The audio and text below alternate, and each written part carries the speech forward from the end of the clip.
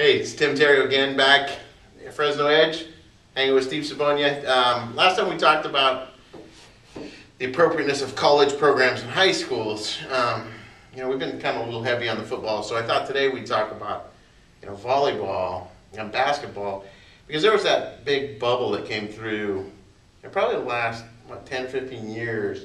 The big buzzword out there for any basketball, any court sport's been plyometrics. Mhm. And there's a few books written, and everybody got all excited about plyometrics and and not really understanding it. It seemed like a good idea. And every time you talk to any volleyball coach, basketball coach, they say, "Oh, we got to do a jump program," because it's been shown in research that if you do a jump program, you can increase vertical. And a big, big part of your sport is vertical, yes. And yeah, so they get all excited. So, but let's talk about that plyometric program. Like, first of all, plyometrics. All it means is enacting the stretch reflex, right? And then, so you do something that stretches the muscle, and then you superimpose a contraction on top of it. Correct. And, and it can be done with any muscle group. And most Okay. commonly used in the jumps. But say for, you know, other sports like baseball, tennis, that kind of Mhm. stuff, we do it rotationally through the trunk. Right. You know, or, or punching movements. So you just preload it, and then Yeah. okay. And so i- as soon as they, that, it, it, that added contraction helps change the direction of, of the force, basically. So for example, um, you're going down with a preload to jump up to, for a, like, faster the preload, Okay. the, the faster it help, helps the magnitude of the force going up as far as the, the contraction. Hope that doesn't sound too wordy, but that's No, you got basically what it is. And the, the problem is, is that, um, just like we kind of talked before, the different developmental levels of athletes um, can um, take plyometric training and the loads of plyometric training to, to with different results. Mhm. Meaning, a developmental athlete, a very young athlete that has not done a lot of joint stabilization, not a lot of strength training, not a lot of eccentric training, especially. Right. Being able to capture a load and control that, that capture. Right. It's very important. And so that person probably needs to do less plyometrics and more of the strength training, eccentric training, joint sta- stabilization, so on, just so they can control any type of load. Yeah. Because So the eccentric being the lengthening contraction. Right. For those of you out there that are curious about that. So yeah, you have to be able to control that first, the negative contractions, the eccentric.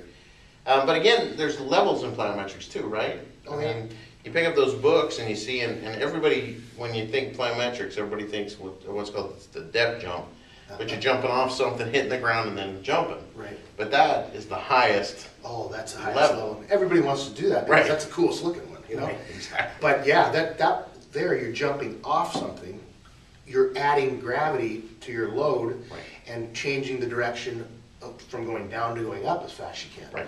And when I was talking about that eccentric part, so you're landing going down, that eccentric part is gonna be going down. It's the most- And you're gonna be going down faster and harder, because now you have gravity making you fall a little Right. bit faster. And being able to change that direction, that puts a lot of stress on the ankles, the knees, the hips. And again, back to the developmental athlete, if, if you have a volleyball player, which many of them are built like drafts, they got Right, long, long exactly. legs. And if they, say, don't have a strong ability to, to stabilize their core and their hips, their knees are gonna be all over the place, Mm-hmm. which puts their knees at a disadvantage as far as, um, being able to generate forces. They're More gonna be absorbing tissue forces. Mm-hmm. And there we go, it's a great way to develop tendonitis issues in the knee. Right. And we see it a lot in therapy. I mean, again, you hit that, you know, a plyometric program, and I think originally when it was first done with the Russians, right, they, they said to be able to do it, you should be able to squat twice your body weight or some Yeah. ridiculous amount, just Yeah. so that you knew had that much strength. Yeah, And then we just kind of, you know, we're Americans, we just kind of brush that aside and we'll, we'll go ahead and do it anyhow. yeah, yeah. But boy, I tell you, 12 to 13 year old girls, we see tons of them in therapy for knee pain. Mhm. And, it, and the funny part of it is, it's never usually the knee, it's the hips that are weak. So exactly what Steve's saying, they land, they can't control it, their knees collapse in together, all that stress goes through their knees. They show up saying, man, my knees are killing me. Well, we spend a little time getting rid of the pain in the knees, and we spend a ton of time strengthening up their hips, their abductors. Yep, yep, And then, how many of them actually know how to jump? yeah. I mean, that's the first step of jump training, right? Yeah. I mean, I know you coaches love it, but first they need to know how to jump and, Yeah, you know, I would, Control their I would strongly recommend, and, you know, that, that old theory of, of the dou- doubles, the body weight squat with the Russians Mm-hmm. and so on. It, it has kind of been changed more so where they need about three months of base training before they start Okay. doing actual jump training and so on, which in a three-month period, good portion, good number of people are gonna be able to, to get some good strength training done.